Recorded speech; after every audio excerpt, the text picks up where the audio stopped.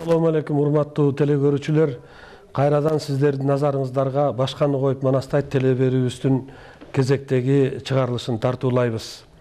Бүгүн дагы биз студиябызга философия илимдеринин доктору кыргыз эл мугалими мударис хусейин исаев агайыбызды чакырганбыз.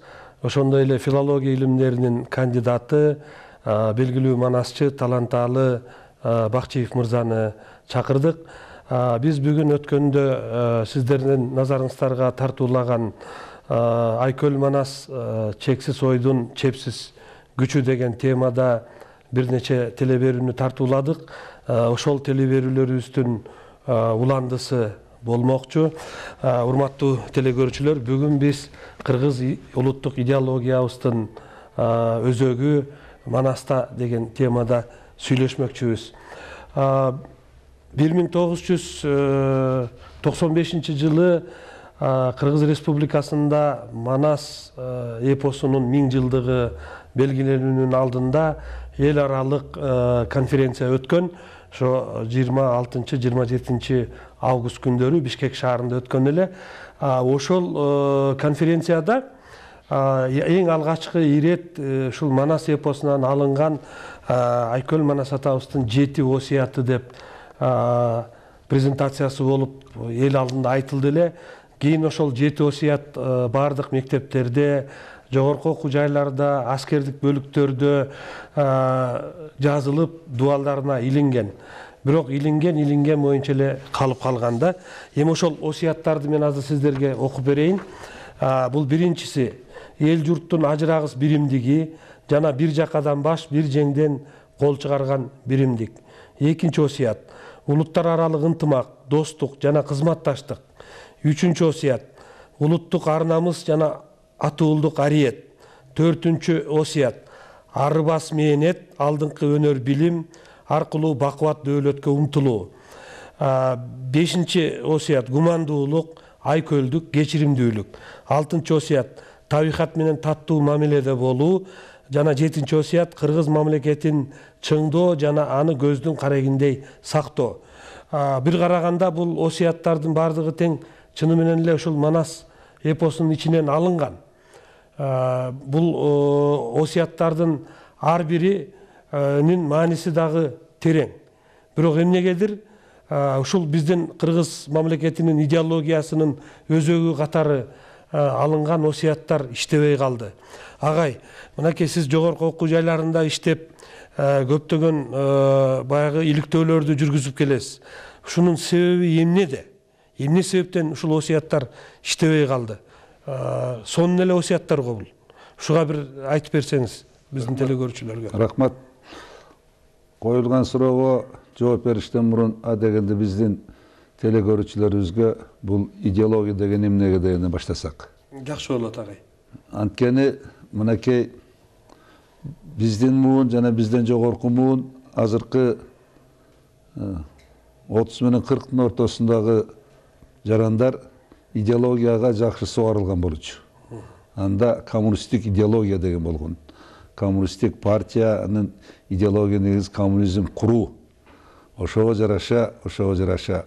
Эмчектеги баладан көр оозундагы адамга чейин ошол идеологияны сиңириш үчүн партиянын атайын саясаты болгон демек идеология деген бул келечек келечек тагдыр анын негизин руханий байлыктар түзөт руханий байлыктар азыркы өзүң окуп берген жети өтөң мына ошол байлыктардан.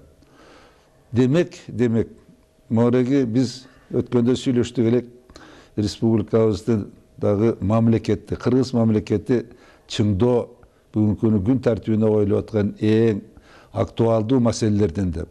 Анын үстүнө республикабыздын азыркы президенти эки миң он төртүнчү жылды кыргыз мамлекетин бекемдөө жылы деп жарыялады. Туура демек демек биз ушундан келип алып туруп идеологияны чечмелегенде чечмелегенде ушул маселелерге көңүл бурсак деп жатамын мынакей азаттыққа шыққаны 24 жыл болды шын шынына келгенде бұл социалдық илимде идеологияны либералдық идеология социалистік идеология улуттық идеология консервативтік идеология деп бөледі мына биздин муунда айттык азыр коммунисттик идеология менен тарбияландык деп партия партия. Бул идеологиянын алып жүрүүчүсү идеологиянын талаптарын ошонун идеяларын турмушка аткара турган күрөшүүчү армия партия.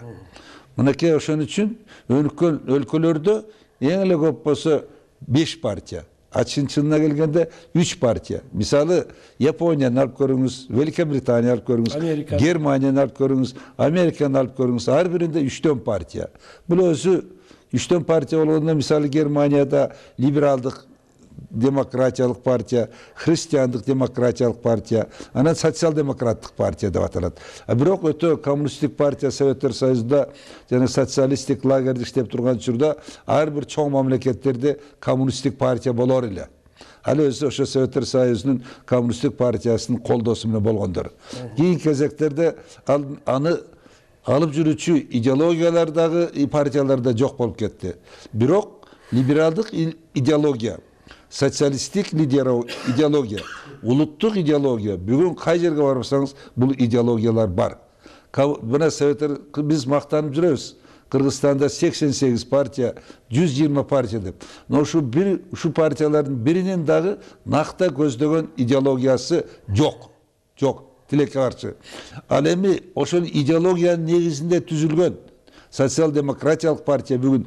бийликте турат бирок социалдык демократиянын баалуулуктары ал партиянын саясатынын негизи болуп калган жок же болбосо бизде эң негизги мурунку партия деп мактанып жүргөн мактанып жүргөн социалисттик партия бар бул социалисттик партия дүйнөлүк социалисттик интернационалдын мүчөсү ошолордун дүйнөлүк жыйындарына биздин өкүлдөрүбүз барып калат бирок бирок ошол социалист кыргызстандын социалисттик партиясы социалисттик идеологияны жетекке албай калды. Анын түздөн түз түздөн түз. Далили катары мына бир миң тогуз жүз онунчу жылы атайын референдум менен кабыл алынган конституция. Ошол конституцияны атайын конституциялык комиссия кеңеш түзүлүп иштеген эле. Бирок түн ичинде түн ичинде бир эле оңдоп ташташыптыр анын тыйынын алып туруп ал конституция либералдык конс- конституция болуп калды а либералдык идеология бирин- биринчи бул өзү кыргыздын менталитетине кыргыздын тарыхына кыргыздын түшүнүнө түп тамырынан бери каршы келген идеология. Туура келбейт мына биздин жаштарыбыздан эң мыкты жакшы философубуз бар жылдыз урманбетова деген. Мына ошо кызыбыздын макаласы жакында жарыяланды кут билимге жана эркин тоо газеттарына мына ошол кыргызстандагы демократияга талдап философиялык талдоо жүргүзүп ошол кыргызстан демократиясы бүгүн колдоп аткан либералдык демократия кыргыздын менталитетине кыргыздын жан дүйнөсүнө туура келбей турган идеология деп чыгарыптыр бул туптуура демек демек бүгүнкү күнү биз бирдиктүү идеологиябыз жок болуп атат экинчиден экинчиден ал идеологияларды диндик диндик ырым жырымдар диндик илим диндик түшүнүктөр или- илип алды мисалы бүгүнкү күндө расмий маалыматтын билдирүүсүнө караганда республикабызда республикабызда мынакей мен айтып берейин сиздерге эки миң жетимиштен ашык уюм бар экен диний уюмдар динный уюмдар дин уюмдар ошонун ичинде мечиттерди алып көрүңүз кыргызстанда болгон эле мечиттериңиз үч жүздөн ашык болуп кетти айрым айылдарда экиден мечит бар булардын баары тең булардын баары классикалык классикалык исламдын ислам теориясын историясын окутуп аткан жери жок булар даванчылар деп коюп алтынчы жетинчи кылымдагы арабтардын тарыхын айтып атат араб тилин үйрөтүп атат демек ушундан келип алып туруп бул дагы кыргыздын улуттук идеологиясына түздөн түз карама каршы келген маселе демек демек ошондон алып көрүңүз чын чынына келгенде идеология деген идеология деген бул өзү ошо кыргыздын мисалын алганда кыргыз мамлекетинин келечегинин руханий деңгээлин далилдей турган жана ошону элге жайылтып ар бир партия бийликке келген сайын ошонун ошону аткара турган деген мааниде аткарат турган маанидә. Мына азыр өзүң жети осуятты окуп бердиң. Бирок ошо жети осуят мектептерге жетип ал- анча мынча иш жүргүзүлдү. Бирок ал иш ишке ашпай калды. Мына мында менде атайын ушу телекөрүүчүлөргө көргөзөйүнчү арайым эле кыргыз республикасынын идеологиялык программасы келечек хартиясы деген китеп бар. Бул өзү эки миң эки миң биринчи жылы жарыяланган манастын жети осуяты өзүң айткандай бир миң жылы эл аралык конференцияда айтылган болчу мына биздин келечегибиз биздин урааныбыз биздин идеологиябыз манаста жатат деген пикир туура пикир болчу бирок бирок эки жыл үч жылга жетпей унутулуп калды мына ошол кезектеги президенттин жанында жүргөн идеологдор манаска каршы чыккынчылык жасашкан мына могерегил мен азыр бүгүн телекөрүүчүлөргө көргөзүп аткан көргөзүп аткан кыргыз республикасынын идеологиялык программасы келечек хартиясы деген башынан аягына чейин либералдык и- идеологияга негизделген либералдык идеологиянын баалуулуктары эч убакта кыргыздын жан дүйнөсүнө менталитетине жана тиги эмесине туш келбейт туш келбейт мүнөзүнө бул карама каршы келген демек бул жөнүндө биз далай жолу айтканбыз бүгүн да айтып коелук эгерде эгерде мына ошо бир миң тогуз жүз токсон бешинчи жылы кабыл алынган жети осуятты чечмелеп чечмелеп жана ошону ошону бийликке келген партиялар турмушка ашыруунун аракетин болуп калганда бүгүн кыргыз республикасы кыргыз республикасы өз алдынча өз алдынча мамлекет катары башка деңгээлде болмок баардык көрсөткүчтөр боюнча муну муну өзүбүздүн өзүбүздүн көзүбүзгө кандай ишенсек мына ошондой эле айтып коюшубуз керек. Демек бүгүн биздин бийлик бийликтегилерибизде мисалы азыркы президент президент мына кабыл алды стратегия деп. он үчүнчү он жетинчи жылды. Анда негизинен чарбалык маселелер каралган чарбалык маселелер андан кийин андан кийин концепция деп жергиликтүү бийликти жана этнос аралык этнос аралык бирдейликти жана ынтымакты күчөтөлүк деген дагы концепция кабыл алынды бул жакшы концепция чын чынына келгенде анан идеологиялык жагын иштеп келсе ушул дагы келечектеги идеологиянын бир бутагы болуп калышы мүмкүн эле анда себеби этностордун биримдиги калктардын бирдейлиги мамлекетибиздин келечеги жөнүндө сөз болот бирок мына ушул дагы бир дагы партиянын партиянын саясий куралына айланган жок бул жерде саясий куралына айланган жок дегенде идеологияны ишке аткарыш үчүн мамлекет жана мамлекетте бийликке келген партиялардын саясатын ишке аткарыш керек. Алар болбосо биздин баардык аракетибиз мертвый орусча айтмакчы агай э, могу э, жети осуятта булар негизинен ушул э, манас эпосундагы негизги өзөк болуп атат да. Туп туура анан айтасыз. бул эмне үчүн иштебей калды сиз айтып атпайсызбы ошол идеологдор либералдык идеяларды таңуулап туруп алып келген ошол себептен иштебей калды деп э? Бул биринчиси бирок да бирок. Баардык эле мектептерде окуу жайларда баягы кыргыздын жигит улан кыз уландары жигиттери кыздары чогулган жерлерде окуган окуу жайларда бул э, осуяттар жазылып илинип ар бирине сабактар өтүлгөн да. А себеби эмнеде ошону иштебей калган ушун ушунга эң башкысы мамлекеттик саясат болбой калганында биринчи мына чыккынчылык кылган дедик ошо жети осуят аткаргандын ордундо либералдык либералдык баалуулуктарды либералдык идеологияны мамлекеттин байлыгы катары көргөзүп атат. Бул биринчиден. Мына бул жерде ошол кезектеги президент кол койгон. Мына президент. И жана ушул кол коюлуп жарыяланган күндөн баштап ишке аткарылыш керек деп жазылып туруп атат.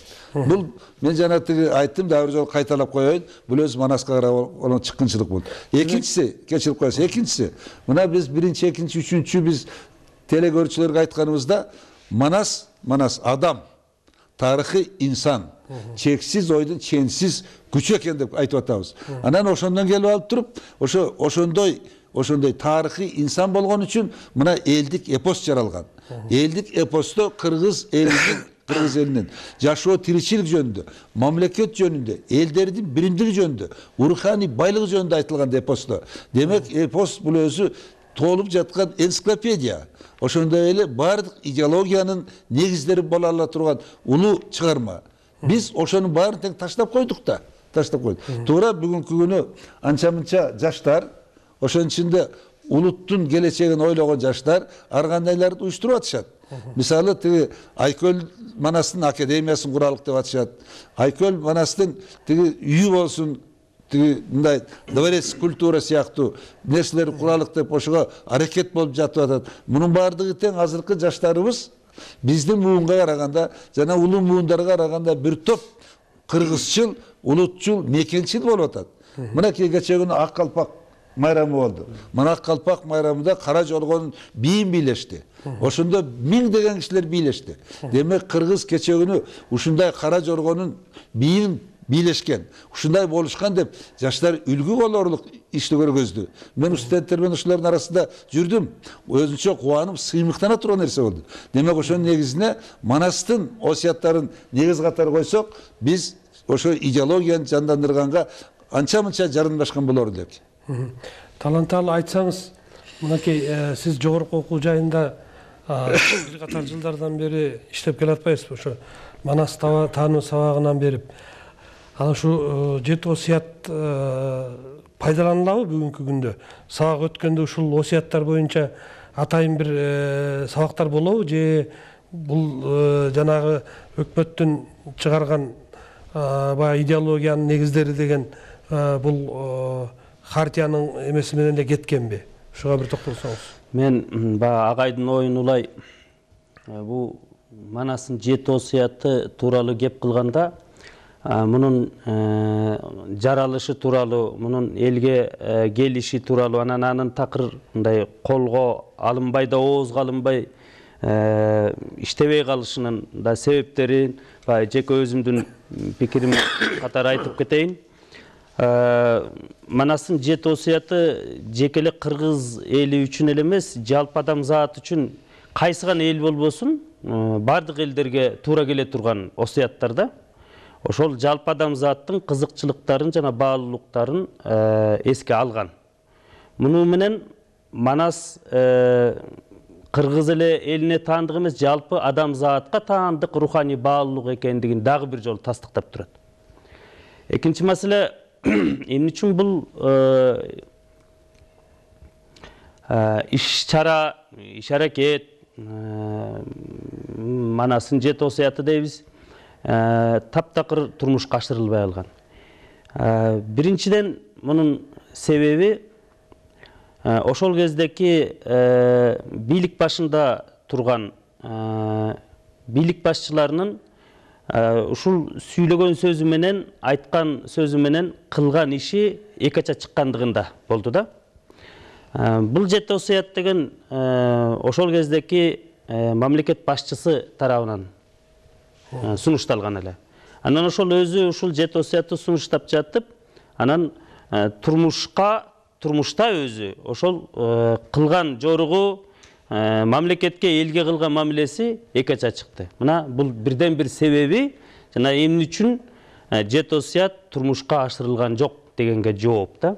Экинчи себеби экинчи себеби ошол кезде жана жогоруда агай айтып өткөндөй э, мамлекеттик атайын саясий курал да саясат да болгон жок муну турмушка ашырууга э, коомчулукка сиңирүүгө жана деген кадимкидей эле турмушта алып жүрүүгө э, атайын бир саясат дагы м, саясий курал дагы э, иштетилген жок колго алынган жок кызык нерсеси э, ошол кезде эгерде токсон экинчи жылдан тартып токсон бешинчи токсон сегизинчи жылга чейин э, ошол кездеки эл ошол кездеки бийлик э, жетекчилиги э, мамлекет жетекчилиги манаска кандайдыр бир э, реалдуу тирүү инсан э, көз өткөн э, тарыхта болгон инсан катары карап келген болсо токсон сегизинчи токсон тогузунчу жылдардан тартып ага э, эпикалык каарман э, же болбосо көркөм чыгарма же миф катары карай баштаган да мына токсон бешинчи жылы сегизинчи апрелде атайын кыргыз республикасынын манас декларациясы деген жарыяланат да мына ошол декла- декларацияга э, кол койгондор кыргыз республикасынын президенти өкмөт мүчөлөрү жогорку кеңештин депутаттары жана профсоюз федерациясынын өкүлдөрү андан сырткары маданият илим адабият дин коомдук ишмерлердин дээрлик баягы аттуу баштуулардын баардыгы кол койгон да мына айта кетсек жумагулов ибраимов осмонакун ибраимов чыңгыз айтматов матубраимов үсөнов кененбаев кененбаева исааков койчуев касымов шаршеев асанканов чынаев токтосартов усубалиев кошоев бегалиев мамакеев абакиров орузбаева качкеев молдобасанов мавлянов жамашев эралиев ташиев кимсанбай ажылар мына баардык ошол кездеги бийлик бутактарында болобу же болбосо коомдук мамлекеттик эмес уюмдарда болобу ошолордун баардыгы кол коюп ушул декларация менен макулдугун беришкен да. Ал эми бул декларациянын мазмуну эмне деп айтылат. Мында манаска кадимкидей баягы тирүү инсан катары тирүү көз өткөн учурунда көз өткөн каарман катары кыргыздын баатыры катары кайрылып атат да. Мына окуй кетсек. Биз кыргызстандын эли манастын урпактары тынчтыгыбызды коргоп сактап калуу үчүн бейпилдик ынтымак үчүн жана өлкөбүздөгү жигердүү кызматташуу татыктуу жаркын келечек үчүн колдон келген баардык мүмкүнчүлүгүбүздү жашоого жумшоого аракеттенишибиз керек дейт. Ал эми аягында баарыбыз манастын ыйык рухунун алдында аарууланып өткөн кеткен бири бирибизге болгон таарынычтарыбызды айкөлдүк менен кечиришип ата мекендин бакубаттуулугу үчүн алдыга карай умтулуу менен эмгектенели дейт да мына мындай бир сырттан карап көрсөк ошол учур ушул токсон экинчи жылдан тартып токсон тогузунчу токсон сегизинчи жылга чейин биздин коомубузда кандайдыр бир жанагы манастын пассионариясы манастын жандануусу байкалат дагы токсон тогузунчу жылдан кийин бул жанагы жогоруда агайыбыз айтып кеткендей либералдык саясатка оогондук байкалып турат да биздин бийлик башчылыгынын жалпы эле ошол кезде баардык бийлик бутактарында турган чиновниктердин деги эле саясаттын өзү ошо либералдык саясатка ооп барат кыргызстан саясатынын либералдык саясатка ооп бараткандыгы байкалат урматтуу агайлар биз бир аз тыныгуу жасайлы. Урматтуу телекөрүүчүлөр бизден алыстабаңыздар бир нече көз ирмемден кийин кайрадан сиздер менен маегибизди улантабыз жер кырымдын оюнда кара деңиз боюнда орголор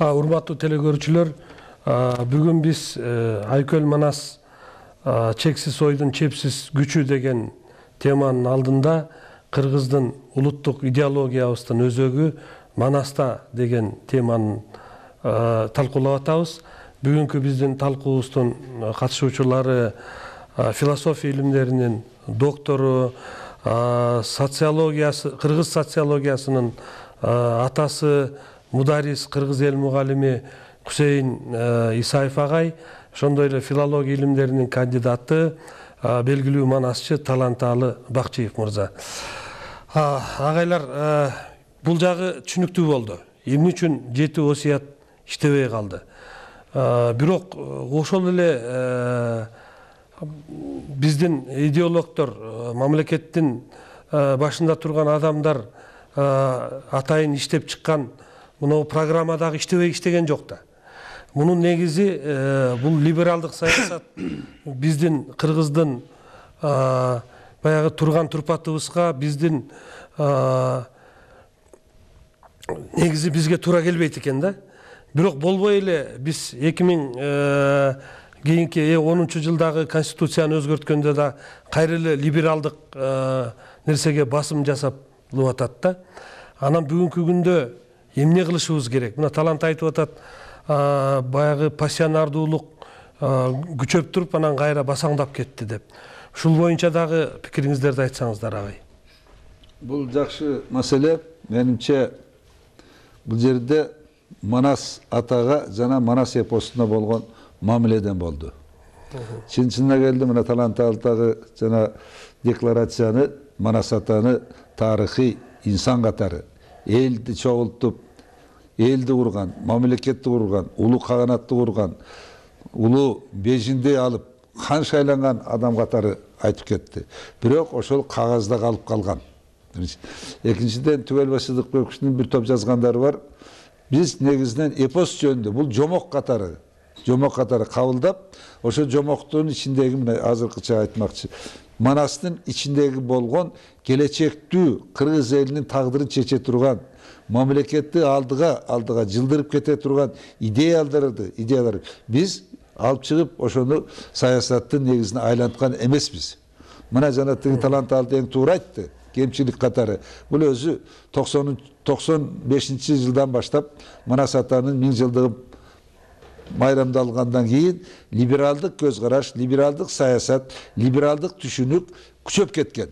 Натыйжада манас такыр унутулуп калган унутулуп калган мына бир нерсени айтып берейин либералдык саясаттын кээ бир ыйык нерселери катары ыйык нерсе катары мына эме айтылат эркиндик деп айтылат эркиндик мисалы мен эң жөнөкөйлөп айтканда эркиндиктин улуттук түшүнүгү бар да улуттук түшүнүгү бар биз бүгүн балдарыбыз кыздарыбыз ата энесин чоң ата чоң энесин укпай көчөгө басып кетсе бул эркиндик болуп атат да чын чынына бул келгенде ошо ата бабадан бери келаткан салтты эрежелерди бузгандыкка жатып атпайбы ошондой да.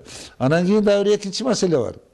Мынакей эркиндик жөнүндө айттык эркиндиктин натыйжасында эркек менен эркек үй бүлө куруп атат аял менен аял үй бүлө куруп атат бул өзү бул өзү теңиримден жаратканда теңиримден өсүмдүктөргө дагы жаныбарларга дагы адамдарга дагы ошо экиден болушун алар тукумулай тургандыгын тукумулай тургандыгын негизги маселе катары коюп атат либералдык идеология либералдык саясат өкүм сүргөн прибалтика мамлекеттеринин бир тобунда бир тобунда жана ошондой эле франция республикасында тукум өспөй калды аялдар төрөттөн унутуп калды бул эмне экендигин ошол келип алып туруп мына кыргызстанга аракет кылып атышат биз ошон үчүн ушулардын баарына тең тик туруп манас эпосунда жана манас атабыздын тарыхында калыптанган нерселердин баардыгын тең баардыгын тең бүгүн күн тартибине киргизишибиз керек мына мына лев николаевич гумилев кыргыздар жөнүндө жазып атып бул кыргыздардын байыркы каганатын бул кыргыздардын биринчи пассионардуулугун баштанышы деп айткан мынакей сибирде сибирде ушу кыргыздын тарыхын кыргыздын аскеринин курал күчтөрүн ошону изилдеп археологиялык казуулар жасап жүргөн клешторный деген мыкты окумушту бар. Кыргыздын мыкты мыкты кыргызчылы мекенчили мына ошол киши жазып атат кыргызга кыргызга экинчи пассионардуулуктун негизи келди ошол пассионардуулуктун негизи болуп негизи болуп манас эпосундагы камтылган камтылган урухий баалуулуктар урухий укмуштай адамдын мындай адамдын жан дүйнөсүн жашарта турган жан дүйнөсүнө жаңыча бир күч бере турган нерселер бар деп кыргыздын экинчи пассионардуулугу башталып атат деген сөз айтып бирок бирок бизде мындай окумуштуу болуп жүргөндөр элибиздин тагдырын чечип аткандар мына ушул тезисти кыргыздын пассионардуулугунун экинчи жолу келиши дегенди ушул өзгө чейин бир чечмелеп айтып гезиттерге чыгарып ушуну саясат негизине айландырган жокпуз. Өзү негизи пассионардуулук дегенди кандай түшүнөбүз ушулардын баардыгын тең чечмелеп изилдей турган окумуштуулардын тобу керек го дейм э ушул жагынан алганда анан муну мамлекет куруу боюнча алсак манас эпосунда мындай бир жакшы мамлекеттиктүү кыргыз элин бир кандайдыр бир бийик даражага көтөрүү боюнча мындай саптар бар экен. Ордо бузуп олжалып оргун журтту байытты. Телегейин тең кылды. Катылганды тең кырды каракытай манжууга кырк үйлүү кыргыз шордууну ошол журтка тең кылды дейт бул саптардан биз манас атабыздын ошол эзилип запкы көрүп жүргөн шорлоп жүргөн элди бийик даражага көтөрүп мамлекет кургандыгы жөнүндө айтылып атат да. Анан бүгүнкү күндө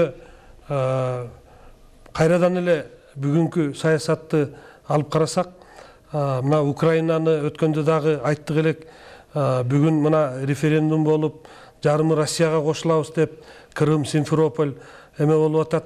Ушундай мезгилде бизде ошолордун эмеси кайталанбайбы биз мамлекеттүүлүгүбүздү жоготуп албайбызбы? Ушул темада дагы сүйлөшүп көрсөк агай биринчиден биринчиден өзүңүз окуп берген тетиреги алты саптын баардыгы тең баардыгы тең. Мамлекеттин бекемдешинде элдин элдин тарыхый ордун так көргөзүп атат Ооба. так көргөзүп атат ошол аз санда болсо дагы миллиондогон кара кытайларга кыргыздар бүгүн теңелип деп атат анан өткөндө биз тиги телекөрүүчүлөргө сүрөт көргөздүк элек. Мына ошондо бешинчи бешинде алганда кыргыздын кыргыздын манасы барып мына ушул жерде кытайда хан болуп калып атат. Так отурган так отурганын көргөзүп атат. Демек демек бул жерде эң негизги маселе мамлекеттүүлүгүбүздү ыйык тутуп мамлекетти түп тамырынан бери жакшыртуу маселеси каралып атат. Биз ушул маселеге көңүл бурушубуз керек. Ошондон келип алып туруп ушуну келип алып. Чын чыны менен эле чын чыны менен эле. Мореги пассионардуулук деген бул өзү адамдын адам теңиримден жаралгандан бери мыкты касиеттеринин жазгы гүлдөй болуп ачылышы жөнүндө кеп болуп атат жанданышы. Жанданышы. Ошонун ачылышы ошонун башкалар үчүн жакшы кызмат кылганга даярдыгы жөнүндө болот. Ошондо келип пассионардуулук деген экинчи ачылышы деген өзү. Мынакей азаттыкка чыккандан кийин азаттыкка чыккандан кийин биз ушу кыргызды мамлекеттин ыйык тутуп элдин башын кошуп иштете алдыкпы ошол саясатты жүргүзүп аткан лидер же болбосо ошо лидердин партиясы чыктыбы өткөндө айттык элек дагы эле айталык эмне үчүн эмне үчүн миллиондогон миллиондогон ишке жарай турган барай турган балалуу боло турган эркектер талаада жүрүп атат баланы төрөй турган аялдар талаада жүрүп атат биз ким жөнүндө кам көрүп атабыз ошолордон анча мынча бир миллиард доллар түштү деп мактанабыз ар бир дол миллиарддаган долларын ар бир үйдө үйдө ыңкылап ыйлап чоңоюп аткан баланын ыйына татыксыз нерсе туура ошон үчүн биз биз биз бүгүнкү күнү биз бүгүнкү күнү кыргыз жарандары кыргыз жарандары мамлекет үчүн кандай кызмат кылып атат мен кандай кызмат кылышым керек эмне жасадым деген маселени күн тартибине коюп көп партия коргонубузду мактанбай ошо партиялар нагыз идеологияны жетектеп ошо идеологиянын негизинде саясат жүргүзө турган партияны алып чыгышыбыз керек. Кандай эмне кандай зарылчылык бар бүгүнкү күнү? Жүз сексен партия деп. Анан мына эки жылдан шайлоо болот дешип эчтеке боло эле жатса партиялар түзүп үстү үстүнө акча чогултуп ошолордун баарын кам көрүп атат баягы эле кечээки эле тиги добушту сатып алуунун аракетинде болуп атат. Ошон үчүн темирдей тартип болгон манас атабыздан калган үлгүлөрдү пайдаланып мамлекетти мамлекет катары бутуна тургузушубуз керек ошого жараша анан идеология ишке ашат да агай бүгүн ошондой э, темирдей тартип орното алабызбы мамлекетибизди сактап калуу үчүн эмне кылышыбыз керек деген суроо бүгүнкү күндө менимче баардык эле кыргызстандыктарды түшөлтүп атса керек чыны менен эле сегиз жүз миң азаматыбыз россияда жүрөт төрт жүз миң казакстанда жүрөт. Деп атабыз элибиздин э, орчундуу бир үчтөн бири тышта жүрүп атат да.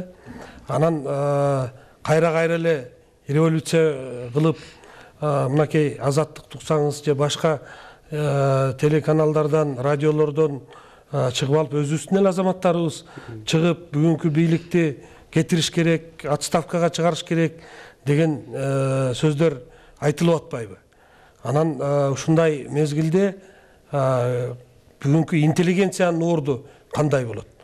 Чыны менен гезиттерди мындай карасаңыз бир э, мындай алгылыктуу элди биримдикке чакырган идеяны көтөрүпкөн макалалар аз болуп атат да. Негизинен эле сындамай баягы шыбамай кетсин деген саясат болуп атат да. Анан бул жерден дагы эле кайра биздин ушул мамлекеттик идеологиябыздын улуттук идеологиябыздын жоктугу ушуга түрткү болуп- атабы деген түшүнүк э, келет да. Бир мезгилде агай э, кыргыздар байыркы замандарда ошол кара кытайлардын кидандардын астында болгон э, монголдор басып турган манжулар калмактар басып турган.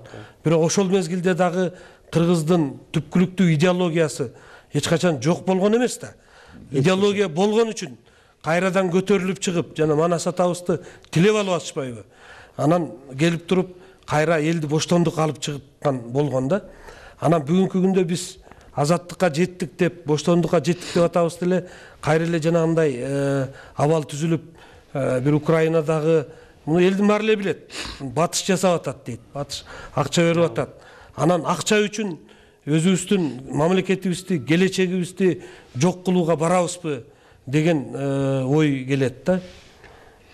Ошол оюңуз аябай туп туура кыргызда жакшы сөз бар. Отурганда эле кыйшык отурган болчу деп. Ат ат минип ээрге отурганда эле. Биз чын чынына келгенде азаттыкка чыкканда азаттык деген эмне экендигин кыргыз мамлекети кандай болуш керек? деген суроолорго жооп болгон эмес.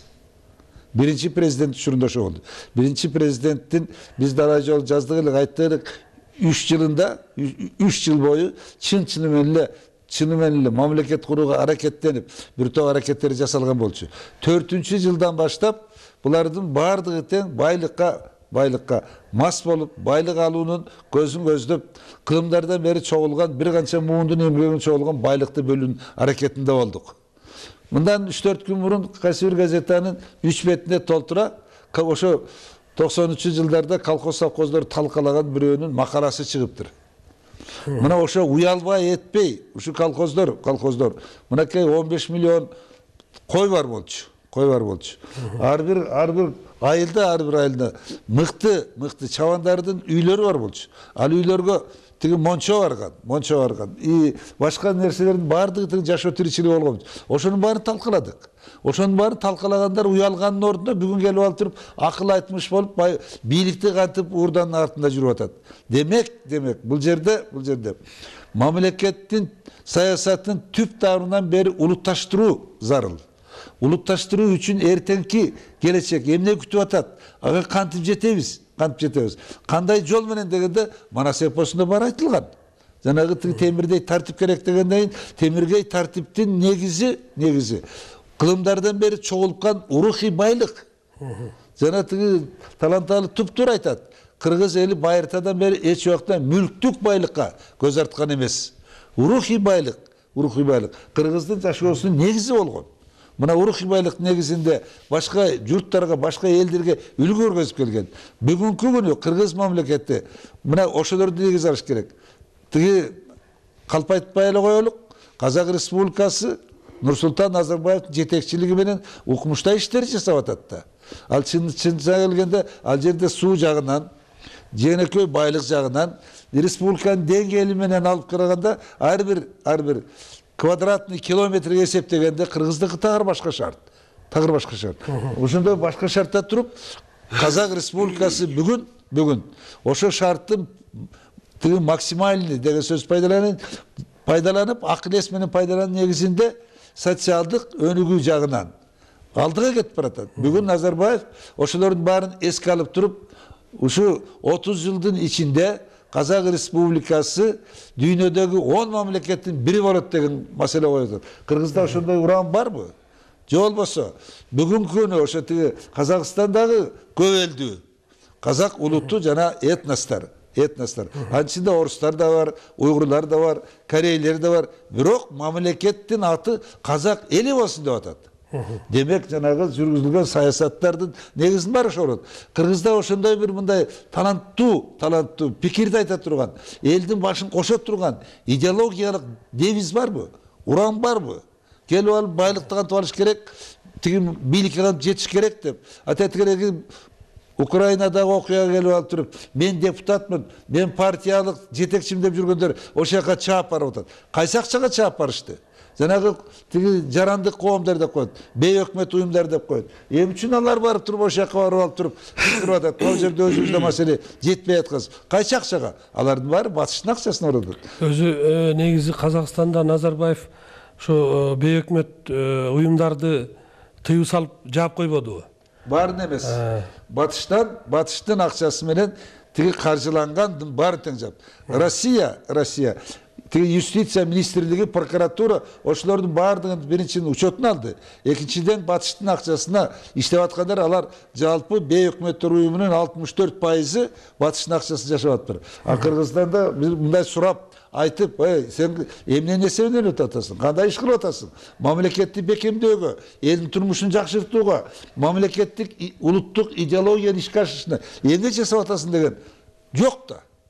Демилге жоқ та. Албетте акыркы учурларда тиги батыштагы болгон окуялардан республиканын президенти өзүнчө тиги коомдук ишмерлерди өзүнчө кабыл алып юстиция кызматкерлерин өзүнчө кабыл алып милиция кызматкерлерин өзүнчө кабыл алып андай сүйлөшүп атат бирок алар эмнени сүйлөшүп кандай маселе коюп атат жарык көрбөй атпайбы эл эл жабык боюнча калып атпайбы эгерде ушулардын баарын тең ачыкка чыгарып президент мына эки жылым калды бир жылым калды дебей он күнү калса дагы он күнү калса дагы бычагын тиштеп алып туруп мен халкым үчүн могулар жасайм дечү болсо мына ошол президентти эл колдоп кетет эле колдойт эле себеби эл эл халк бүгүн ошондой элитага ошондой лидерге муктаж болуп туруп атат биз бүгүн назарбаев жасаган иштерин окуп алып окуп алып чыны менен эле биз биз ошолорго ошолорго чын пейилибиз менен жакшы ниетибизди айтуу менен биз эмне үчүн ушунча начарлап баратабыз деп атат а чын чынына келгенде күндөлүк турмушубуздун деңгээли төмөндөгөнү төмөндөп атат бүгүнкү күнү мынакей америка кошмо штаттын доллары доллар өсүп атат эртең эртең баа баа өсөт деп баа өсөт деп базардагы азыр тамак аштык анча мынча колунан келгендер ташып кетип атат бүгүнкү баа өсөт деп.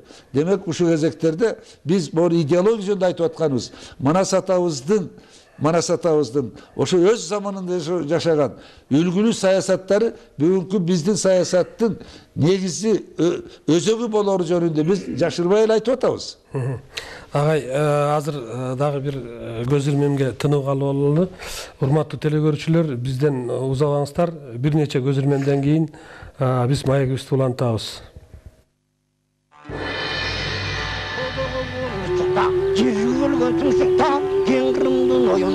қара теңіз бойында орғып орғып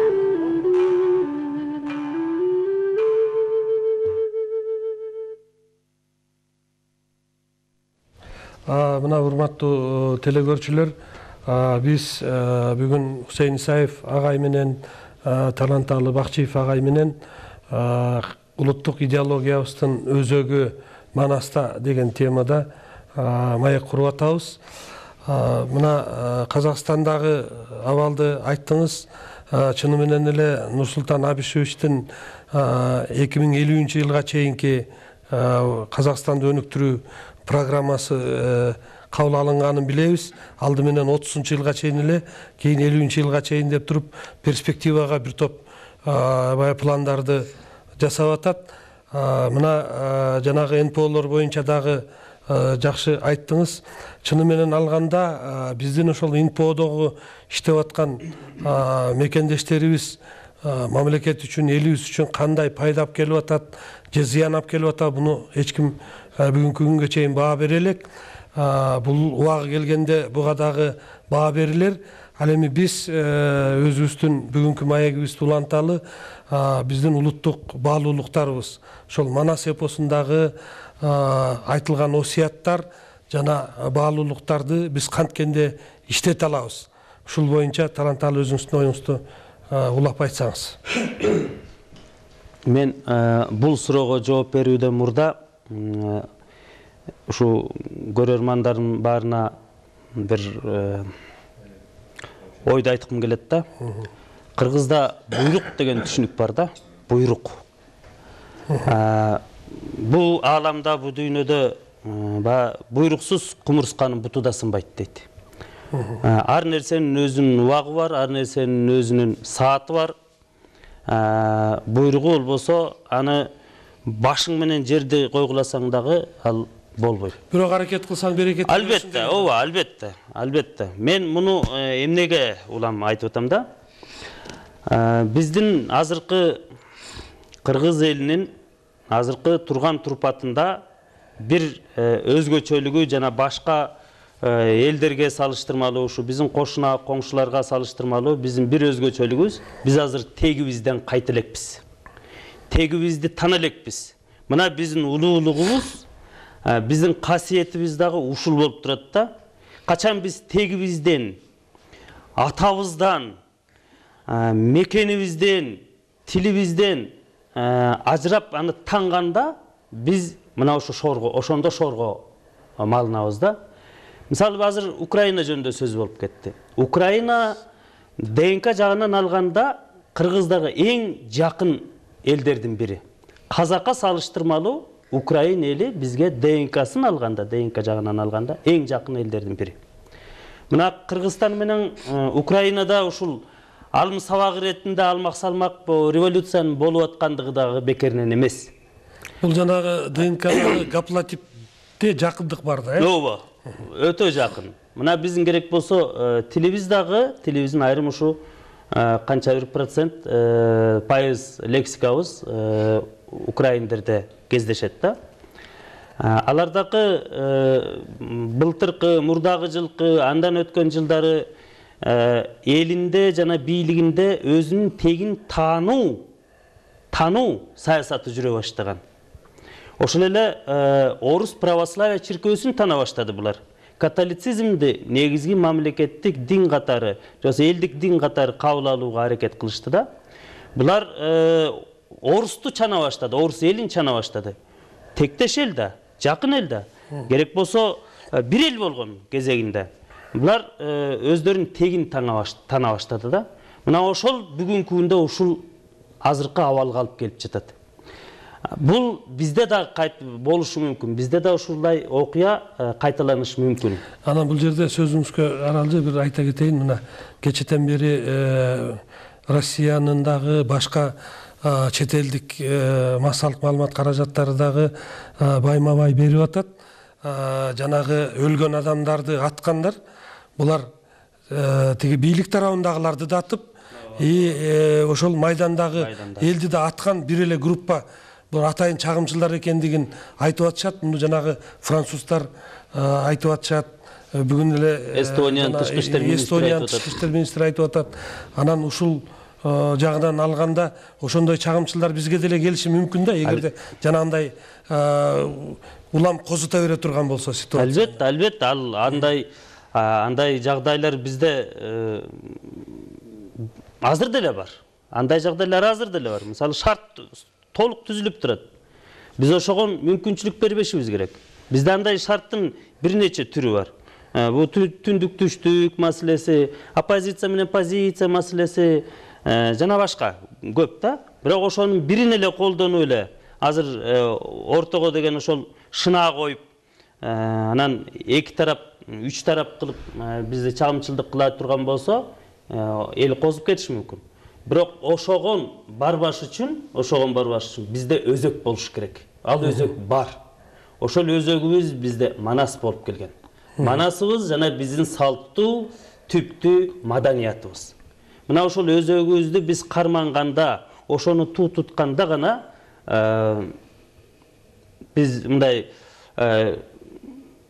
өнүгүүгө дагы э, өсүүгө дагы баардык мүмкүнчүлүктөр болот эл деген даяр эл азыр деген кандай улуттук м, алдыга умтулуу жылуу көтөрүлүү өнүгүү э, ушул максатты көздөп турган эл даяр көздөгөнгө маселе бийликте болуп турат бийлик ошо элдин мүдөөсүн элдин каалоосун азыр алып кете албай алып кете албай атат да көтөрүп ошону колдоп алып алаканга салып кете албай атат да. Мына ушул биздин маселе маселебиз болуп атат бийлик менен эл азыр э, эки тарап болуп ортодо чоң ажырым турат Э, экөө бирин бирин түшүнө албай атат экөө өз оокатын кылып атат эл өзүнүн күнүн өзү көрүп атат бийлик өз күнүн өзү көрүп атат жок экөөнү бириктириш үчүн Экөөнү сөзсүз эле төңкөрүш жасаш керекпи балким төңкөрүшү жок эле экөөнүн а, мындай кошуп бирин бирин түшүндүрө турган механизмдер ал манаста турбайбы Жок, ошол ошол ошол турат да мисалы могу манастын жети осуятында деген инжил менен куранда жана башка китептерде айтылган ойлордун бар идеялардын баардыгы бар ошол эле мисалы гумандуулук айкөлдүк кечиримдүүлүк дейт бул инжилде деле бар бул куранда деле бар бул манас өз бери баяндап айтып берип атат да анан эми э, бизге мындан артык эмне кандай руханий күч эмне руханий кандайдыр бир мындай касиет керек да биз куранды жараткан жокпуз биз э, инжилди жараткан жокпуз бирок биз манасты жарата алдык манас ошол бизге куранга дагы ошол инжилге да тете ыйык касиетке жол көрсөткүч болуп турат да ыйык касиетке эгедер болуп турат биз болгону ошону гана мындай колго алып ошону жолдомо катары колдонуп алып кетсек ата канат биз ошого эркибиз да жетпей атат ошого кудуретибиз да жетпей атат ал эми бул жети осуятты азыр бул акаевдин кыргыз мамлекетине кыргыз республикасына тартуулаган энчиси катары э, түшүнүп атышат да биздин азыркы бийлик башындагылар ошон үчүн аны бул жети осуятты э, колдойм деп э, тиги акаевдин э, саясатын реабилитациялап аламбы дегенден коркуп атышат да. Бул акаевдин э, табылгасы деп муну чанып атышат колдобой атышат манас деген акаевдики эмес да андагы жети эмес жетимиш осуят алып чыкса болот анын баардыгы акаевдики эмес да жеке адамдыкы эмес ал элдик да туура мен ушул э, теле берүүгө даярданып атып тигил э, жети осуятты алып анан кийин манас эпосундагы негизги э, баягы идеяларды карап көрдүм да анан э, негизинен жети осуят туура эле алыныптыр мынакей азаттык эркиндик идеясы манас эпосунда бар. Ата мекенди коргоо ата мекенди сүйүү идеясы бар. Элдин биримдиги бар элдердин биримдиги бар. Мынакей мындай бир саптар бар экен ошо колдун ичинде ортоктош болгон ойгут бар. Кызыр чалган жакыптын кызматын көргөн кыргыз бар. Аркасы тийген найман бар. Коңшулаш жүргөн коңурат э, үйүрдөш жүргөн үйшүн бар. Аралашкан алчын бар. Аргындын кара кожо бар. Аты уулунан кошо бар дейт. Сагынбай орозбаковдун вариантында. Ушинтип уланып кете берет да анан бул элдин биримдиги э, турат А көз каранды эместик идеясы өз алдынчалык идеясы турат А, достук идеясы бар экен санжыра э, баягы ата текти билүү идеялары. Негизинен жети осуяттагы э, идеялардын баардыгы тең эле Манаста а, бар. манаста бар экен анан биз бүгүн ошол акаевдин убагында табылган акаев тапкан же болбосо бакиев тапкан дебей эле ошол осуяттарды манас атабыздын осуяты катары кабыл алышыбыз керек экен да э? Ооба. анан бийлик дагы ушул осуяттарга көңүл буруш керек. И карапайым элибиз дагы даярдап атпайбызбы эл чыны менен эле баягы бүгүнкү күндө жетилди. э, биримдикке э, кечээкүнкү шайлоодо балким бир аз алданып бир аз тыйынга алданып добушун саткан болсо бүгүнкү күндө элибиз ага барбай деле коюшу мүмкүн да э? Акаевдин убагында баягы акчасын ала бергиле анан урнага барганда добушуңарды өзүңөр билесиңер деген нерсе дагы баягы кеңири тарап кеткен да. Анан ошол эле убактагы премьер министр болуп жүргөн турсунбек чыңгышев агайыбыз болсо азыр жалкоолор менен эле келесоолор уурдабайт деген сөздү айтып ушул дагы аябай дүң болуп кандайдыр бир биздин кыргыздын идеологиясынын негизи болгон сыяктуу болуп кеткен а бүгүнкү күндө э, биз мамлекетибизди сактап калабыз десек мамлекетибизди өркүндөтөбүз десек э, бүгүн э, президентибиздин атайын буйругу менен быйылкы жыл э, мамлекеттүүлүктү бекемдөө жылы деп белгиленип атпайбы демек биз ушул манастын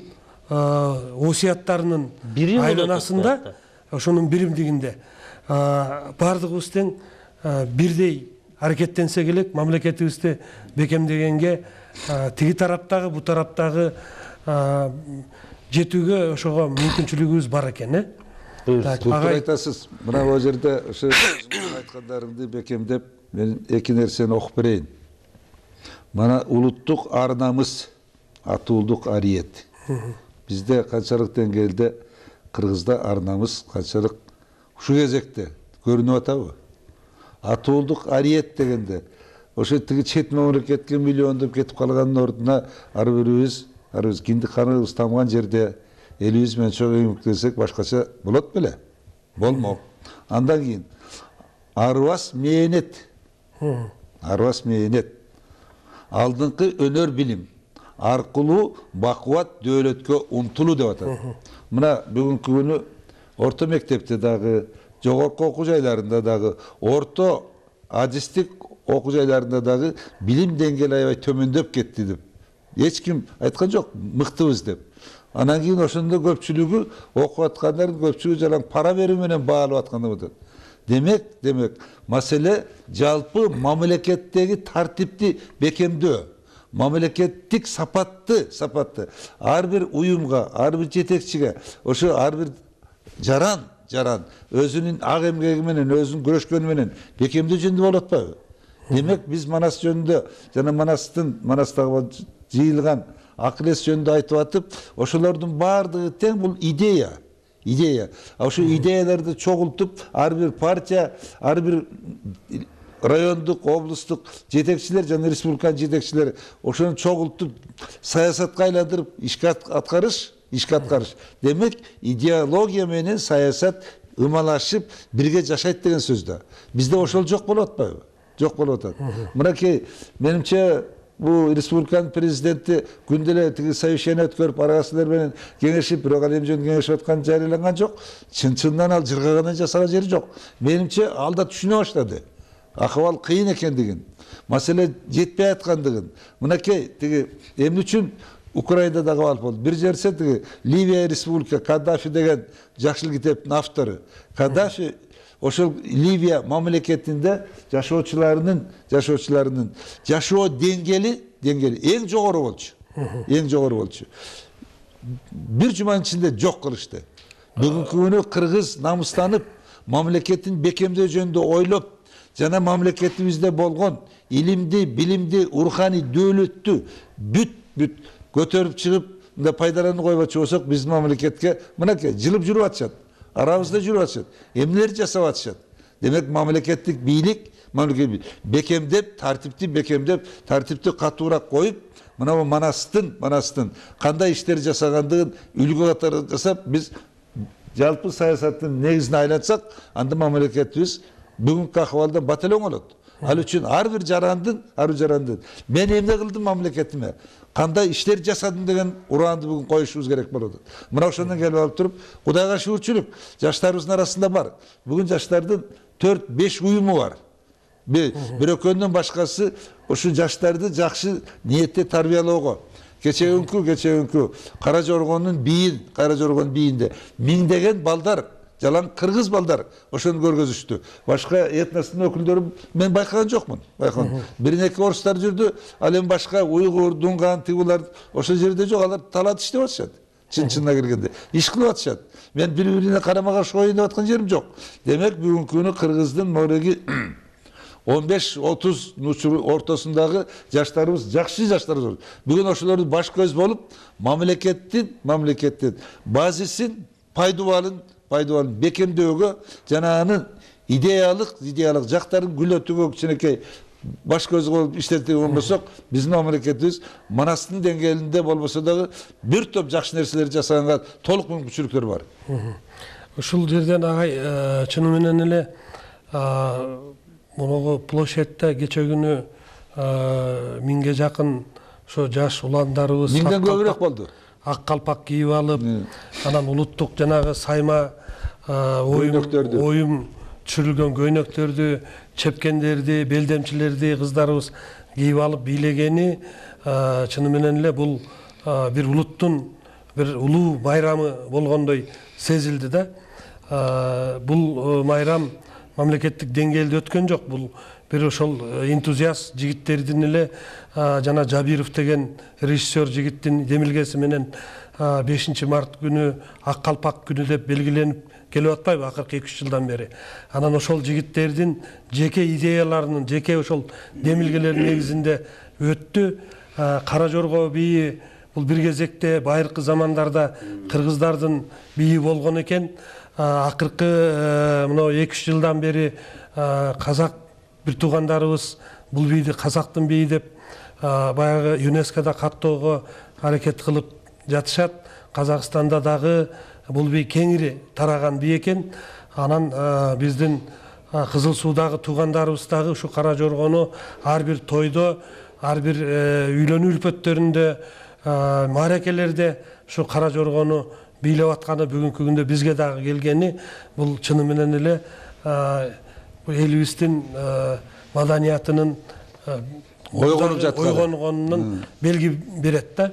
Анан э, агайлар э, тилекке каршы бир саат убактыбыз бат эле өтүп кетти А, бүгүн дагы сөзүбүздү э, толук бүтпөй калдык бир мүнөт кече күнү кара жоргону аралап жүрүп мен ошол жерден эки үч эки үч жашап калган кишилердин уктум бир миң тогуз жүз жыйырма сегизинчи жылы эмне үчүн жыйырма сегизинчи жылы экен ошол кезекте кыргыздар кара жоргону кара жоргону мындай массовый бийлешип биринчи жолу бул кыргыздын бийи деп ошондон бери менчиктешкен экен жыйырма сегизинчи жылда айтышты бирок мен ошол кезге чейин башка китептерден окуп тагы кече күнү угуп алып эки үч жолу сурадым мен атайын эмне үчүн кандай болгон тигине болсо ошо баягы казактардын казактарда баягы ачкачылык болгондо жут болгондо ошонун астын сезгендей жыйырма сегизинчи жылы кыргыздардын духу кыргыздардын ички сезими кыргыздардын түшүнүгү кеңейип ушу бийди бийлеген экен массовый. Ошентип кыргыздардын турмушу эмнегедир кошуна казактардыкын алдыганча жакшы болуп калган экен анан агай дагы бир эме э, өткөндө биз ушул э, жана семен липкиндин бухарин сталин иманас деген а, баягы жазган макаласынан окубадык ошол жерде дагы а, кыргыздын чыгаан жигиттеринин бири ошол кездеги республикабызды түптөгөн азаматтардын бири баялый исакеев. Ошол кыргыздын бийи барбы дегенде бухариндин алдына ошол бийди бийлеп берген экен берген. бирок кийин ошонун азабын тартып бул бухариндин алдында баягы бийлеп э, эме кылган бул бухаринчи деп туруп кесилип анан атылып кеткен экен да. Кудай буйруса э, кийинки берүүлөрдө дагы ушул кыргыздын улуттук идеологиябыздын айланасында сөз курабыз. Агайлар сиздерге э, терең ыраазычылык билдиребиз. Атайын убактыңыздарды бөлүп келип ушул маек куруп бергениңиздерге урматтуу телекөрүүчүлөр урматтуу апалар энелер эжелер карындаштар а, зайыптар баарыңыздарды эртеңки сегизинчи март эл аралык аялдардын күнү менен куттуктайбыз сиздерге чың ден соолук үй бүлөңүздөрдө жакшылык болсун бакубат турмуш болсун токчулук болсун дасторконуңуздар толо болсун урматтуу телекөрүүчүлөр ушуну менен бүгүнкү биздин берүүбүз соңуна чыкты кийинки көрсөтүүбүздө жолукканга чейин аман туруңуздар